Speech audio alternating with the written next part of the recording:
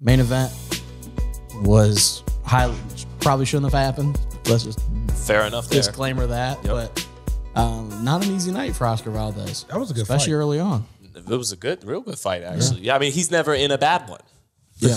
which which you know makes me still very fond of Valdez. You know, fond of all the great Yeah. fighters in our sport. And it's but uh, while, while, you know, he- while I'm watching the fight, I'm not thinking about none of the outside stuff. Right. I'm in, really enjoying the fight. right? Because I was the o- and I was the opposite. That's where I was like I was like, yeah, I, I like I was just I was annoyed. I was you like, know, don't get it's, it's and it's not. It's just it's hard. You know, part of it was still hard not to give him his props because once the like you said, once the bell rings, it's like okay, now I'm watching the fight, and this guy Conceição was so much bigger than him. yeah, and was winning early.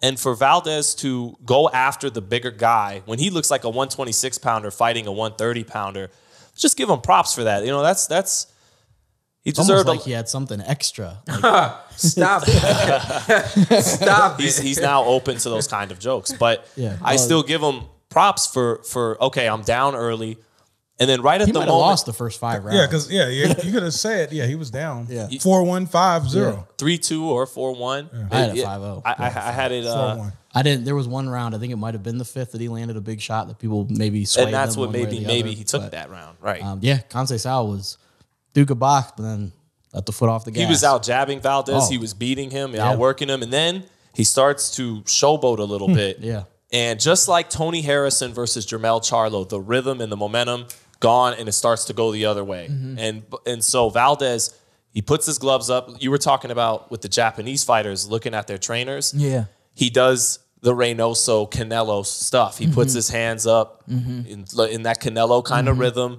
and he starts digging, and he turns the fight around. Mm-hmm. He goes at. He wanted it more because he was willing to keep his nose in there, and and and put on the kind of bombs that won him the fight. I know some people thought Conceição won the fight. He outlanded him by 80 punches. Yeah, Oh shoot. But threw him by a lot as well. but he took a lot of snap off his shots, even though his jab kept connecting.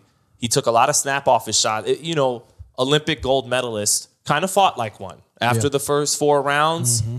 he trailed off a little bit, although he made a nice rally towards the end. Yeah. But in the heart of the fight, he just let Valdez win round after round, go after him, land the bombs to the body, land that big left hook enough, and and won the fight. Now it wasn't his most impor- impressive performance at all.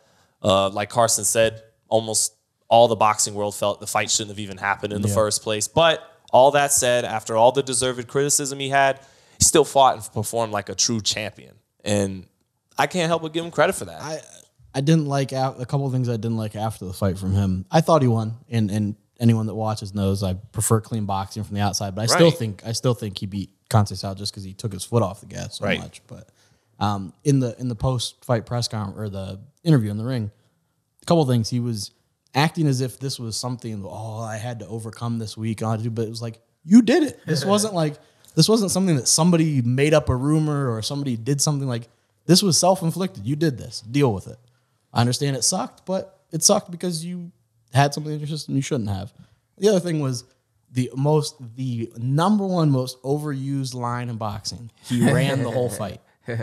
yeah, Conceição didn't run. And and you're saying that as you have cuts above your Yeah. your face is tore up and Yeah. he ran the whole fight. You know, I'm sorry to the fans. I couldn't. He But ran. usually I'm you hear like, it from the loser. You're right, and I'm just like, but he clearly didn't run the whole fight uh, unless his foot somehow kicked you in the face 75 times and cut you like that. He didn't run, but um, yeah, he get he gets the win. Um, hopefully, this is again me being optimistic. Hopefully, he never has any issues with banned substances again. He mm-hmm. because he's a likable guy. You mentioned it. Tim Bradley mentioned it. After I mean, he beat has character. Like you don't fight through the stuff he's fought through without having Yeah. something fun you fighter know? to watch. Like has this huge win versus Berchelt. Like outside of everything we've found out recently, he's an extremely likable fighter and somebody you'd root for. So hopefully, moves past it. and- And I'm all about giving people second chances. yeah, But I'm gonna give you second chance. That's it. That's it. So I can't big baby you and you keep effing up, effing up, effing up. That's your thing. And Yeah, you yeah, you I'll give people second chance. and the one positive. To, but just two.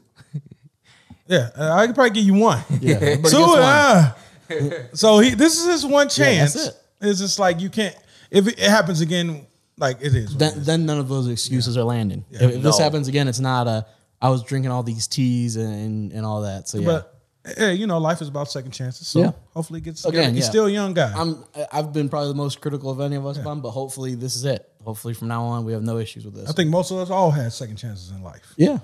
I've had five or six, seven. and might might have a good fight on the horizon against the winner of. Aaron and that's the one positive Yeah. is that before this fight, coming off that Berchelt win, he's he he wasn't that excited or enthusiastic about fighting the winner. He wasn't, and and now he knows he has to to prove himself again. That that's the one positive is that now I think you're gonna get Valdez really head first into that fight. He's not gonna try and sidestep it Yeah. or not come into the fight 100. percent I think this.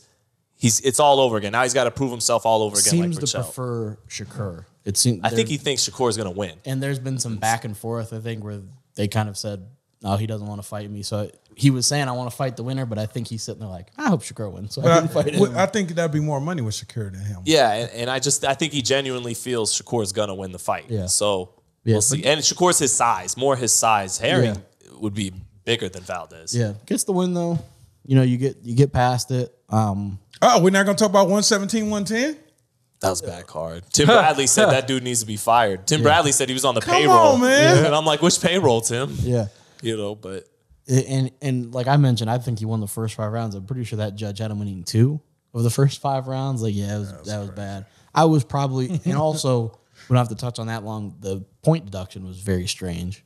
I was there at the fight and missed it. Yeah, it That's was how bad it must have been. Yeah, was- it was a very odd, like all of a sudden. behind it was like- yeah, he was just. Oh, yeah, that's right, and was kinda- clinch, and and he was kinda little- like- right, right, He was right. kind of bullshitting. Like he wasn't like landing rabbit punch. He was kind of like just like, doot, doot, like Oh, just yeah. kind of tapping him on the That's back not even illegal. Yeah, and, and gets a point, and the ref was just like, no, weak. yeah, it, was- it was weird. Hometown point deduction there. Yeah, it seemed like it. Because And- Valdez hit him with something big in the again so I can see the rest. And think how close that. I mean, that card.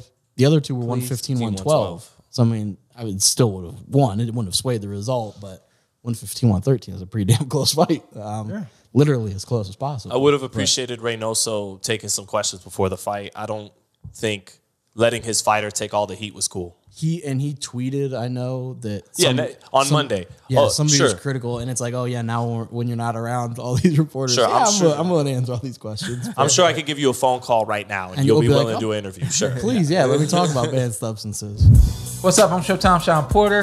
I'm Ant. Follow me on IG at with two T's. Let's do All it. right, Let's here, do it again. Let's All do right, it. just introduce yourself, Okay. and then tell them, and then you tell them what to do. I'm Showtime Shawn Porter. I'm Anthony Brenagh. Carson A. Merck, like, subscribe, comment. This is the Porter Way.